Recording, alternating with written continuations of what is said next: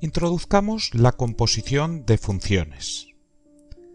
Imagina que tenemos una función f definida de un dominio. Vamos a suponer que es d sub 1. ¿eh? Pongo d sub 1 y no pongo d porque vamos a considerar también otra función g. Es una función definida de un dominio d sub 1 en R.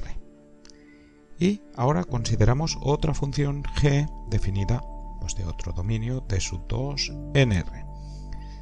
Ya sabes que los dominios o nos los dan o en otro caso si tenemos funciones pues son los subconjuntos de R máximos donde las expresiones que definen a las funciones tienen sentido. Entonces bueno, aquí lo que vamos a hacer es pues empezar por una de las funciones y seguir con la otra. Y ahí lo que tenemos es la composición, o sea, actuará primero una función y sobre los resultados que se obtengan de la primera función actuará la segunda función. Entonces, lo que tenemos es lo siguiente. Pues la primera función, por ejemplo, f, esto está definido de d sub 1 en r, aquí tenemos f, y ahora tenemos g, que está definido en d sub 2 bueno, entonces aquí tenemos que borrar R y tenemos que poner D sub 2, ¿vale? Y esto va a parar a R. Ahora sí. ¿Vale? Entonces, este proceso lo podemos hacer, fíjate que, claro, f va de d sub 1 en d sub 2, aquí lo que se tiene que cumplir es que las imágenes por f, esto te caigan dentro de d sub 2 para poder aplicarles g. O sea, las imágenes de f te tienen que caer dentro del dominio de G. ¿vale? Estos detalles después en la práctica no vamos a entrar mucho, pero tienes que recordarlo. ¿vale? Eh, entonces, cuando tenemos esto, podemos considerar una función que haga todo esto de una sola vez. O sea, es como un proceso que tiene dos etapas y consideras pues, el proceso sin considerar esas dos etapas. Pues eso es la composición de f y g. Eso yo habitualmente escribo G compuesto de F y la mayoría de los profes de secundaria, bachillerato e incluso universidad van a poner aquí. Cuando pongo esto significa que la primera que actúa es la F, ahora después verás por qué, y la segunda que actúa es la G. Pues G compuesto F, ¿eh? que tendrá por dominio pues D sub 1 y codominio R, como puedes ver ahí, aunque tampoco entraremos mucho en detalle con eso, pues será función, ¿vale? No vamos a escribir a su dominio, que actuando sobre un X, ¿eh? si quieres aquí puedes poner paréntesis o a veces no se ponen paréntesis, ¿vale? Estoy pensando, pues, bueno, lo ponemos ahí y ya está, y después ya veremos. Pues esto, ¿qué es? Pues mira, como he puesto aquí, primero actúa la F. Y sobre el resultado de actuar la F, ahora actúa la G. Pues eso es g compuesto f de x. ¿eh? Sustituyes la expresión de f de x en la expresión de g, obtienes el resultado y ahí obtendrías la expresión de g compuesto f de x. ¿Vale? ¿Eh? Fíjate que aquí pues lo único que tienes que hacer es copiar gfx en este orden, gfx, pero con paréntesis. ¿eh? Es muy sencillito. Pues vamos a presentar ejemplos y un primer ejemplo pues vamos a considerar ¿eh? muy sencillo, no me voy a meter en cosas extrañas ni nada. f de x igual a 2x menos 1 y g de x pues x igual a menos 2. Y como digo, tampoco en temas de dominio y tal, ya sabes que cuando haces una composición, pues las imágenes de la primera de las funciones que consideras pues tienen que quedar dentro del dominio de la segunda, pero no voy a entrar en ello. ¿eh? Aquí vamos a calcular g compuesto f de x y también vamos a calcular f compuesto g de x, porque puedo calcular ambas. ¿Eh? Mira, arriba ya sabes que primero actúa la f y sobre los resultados de actuar la f actúa la g. Pero aquí simplemente lo que tienes que hacer es copiar en ese mismo orden en el que aparecen las cosas, pues g de f de x. Y ahora, pues pone g y f de x, pues ponemos su expresión que es 2x menos 1. ¿eh? He sustituido f de x por su expresión. ¿Y qué es g de algo? Pues en la expresión de g, donde pone x, pongo ese algo. O sea, te va a lanzar la expresión de g, que es x cuadrado menos 2, x. ¿eh? aquí x, pues tú sustituyes 2x menos 1. 2x menos 1 al cuadrado, pues pones aquí al cuadrado menos 2. Y ahora simplemente es operar aquí.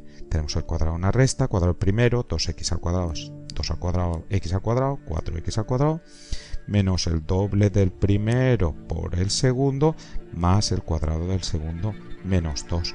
Esto te queda 4x al cuadrado, ahora menos 2 por 2x por 1 es menos 4x, más 1 al cuadrado que es 1, menos 2. ¿Y esto que te da? Pues 4x cuadrado menos 4x menos 1. ¿Vale? Y ahora, ¿qué es f compuesto g de x? Pues esto es f de g de x.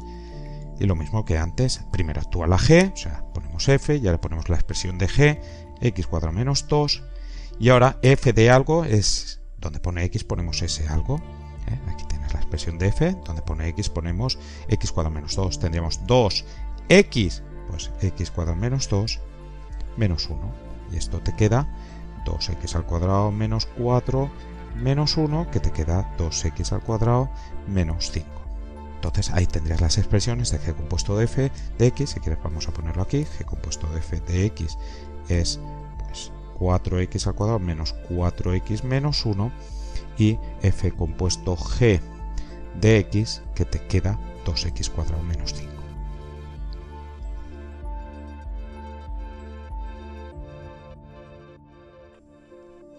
Consideremos ahora las funciones f de x igual a 5x menos 1, g de x igual a 2x menos 1 partido 3x más 1 y vamos a calcular g compuesto de f y f compuesto de. Bueno, vamos a calcularlo por definición y después razonamos porque aquí hay problemas con los dominios. ¿eh? Eh, primero, si quieres, el dominio de f, f es un polinomio, es todo R. El dominio de g, cociente de polinomios, es R excepto los valores que anulan el denominador. El denominador 3x más 1, fácilmente lo igualas a 0, pues te queda x igual a menos un tercio. Entonces, el dominio de g es R menos el menos un tercio. ¿Vale? Entonces, claro, cuando consideras g compuesto f de x, pues primero actúa f y sobre los resultados actúa G, ya sabes que primero actúa esta, segunda esta de aquí. Y claro, cuando al actuar F te queda menos un tercio, no puedes calcular la imagen con G, ¿eh? porque se te anula el denominador. Entonces ahí pues hay que tener un poquito de cuidado, por lo menos ser consciente de eso. Pero bueno, nosotros lo hacemos así directamente y es que pues esa información, que realmente es una información sobre el dominio de G compuesto F, pues la vamos a ver en la expresión que vamos a obtener aquí. Bueno, G compuesto F de X, ya sabes que es en el mismo orden G de F de X. Y esto sería G de, y ahora F de X, por poner la expresión, 5X menos 1. Y G de algo, pues es donde pone X en G, ponemos ese algo.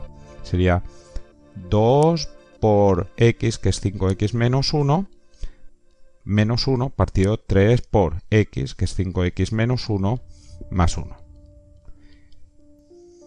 Esto te queda 2 por 5x, 10x, 2 por menos 1, menos 2, menos 1 abajo 3 por 5x, 15x, 3 por menos 1, menos 3, más 1.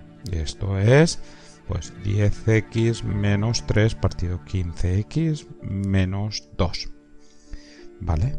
Entonces, bueno, obtienes una expresión de la composición, ¿eh? g compuesto f de x, pues tendría esta expresión, 10x menos 3 partido 15x menos 2. Y bueno, eso que decía de los valores de x, que al sustituirlos en f se obtiene menos un tercio, que anulan el denominador de la g, pues eso ya te sale aquí esa información. ¿eh? Tienes una expresión para g compuesto f de x y el dominio será r excepto pues, aquellos valores que anulan 15x menos 2. ¿eh? Dominio de g compuesto de f sería r excepto pues 15x menos 2 igual a 0, te queda x igual a 2 partido 15. ¿Vale? Entonces, como ves, eh, está bien controlar la situación, saber que cuando tienes un valor del dominio de f que al sustituirlo no te dan el dominio g, pues no se puede considerar eso, ¿eh? pero esas cosas, pues en este caso te han dado pues implícitas en la expresión que obtienes de la composición, ¿vale? O sea, ese valor del dominio de f que al sustituirlo en f pues te da el menos un tercio que no está en el dominio de g, es 2 partido 15, ¿vale? Y ahora vamos a hacer f compuesto g de x Sabes que en este caso primero actúa la G, segundo la F, ¿vale? Claro, como actúa primero la G, pues directamente el menos un tercio no estaría en el dominio de esa composición, ¿vale? Porque no puedes calcular la imagen de menos un tercio por G, que es la primera función que actúa. Bueno, esto por definición es f de g de x, que esto te queda f y ahora g de x, pues sustituimos expresión 2x menos 1 partido 3x más 1 y esto pues es la expresión de f donde pone x ponemos esto de aquí la expresión de f arriba 5x menos 1 pues sería 5 por x pues pones 2x menos 1 partido 3x más 1 esto eh, menos 1 y esto que te queda pues esto te queda partes esto de 1 abajo 1 por 3x más 1 es 3x más 1, arriba 5 por 2x menos 1, 5 por 2x, 10x, y ahora 5 por menos 1, menos 5, y ahora menos 1, que si quieres partes de 1, entonces haces esta resta ¿eh? de fracciones, mínimo un múltiplo 3x más 1 y 1 es 3x más 1, 3x más 1 entre 3x más 1 es 1 por 10x menos 5, 10x menos 5, y 3x más 1 entre 1 es 3x más 1 por 1, 3x más 1. Aquí mucho cuidado a la hora de restar estas fracciones. ¿eh? Vamos a ver cómo lo pongo.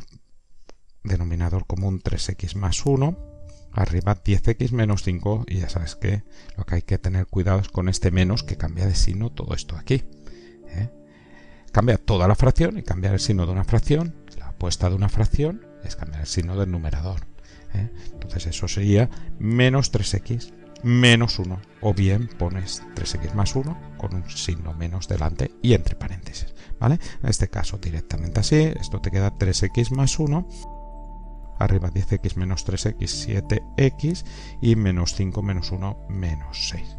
Entonces tendríamos que f compuesto g de x esto tendría por expresión 7x menos 6 partido 3x más 1. La f pues no restringe el dominio de nada. La restricción teníamos sobre la g, ¿eh? que no podemos calcular la imagen de menos un tercio, pues está claro. Además en la expresión que define esa función pues se ve que dominio de f compuesto de g pues sería r excepto el menos un tercio. Eh, no solo calcular, sino llevar el control de todo lo que está ocurriendo, fundamental como siempre en matemáticas.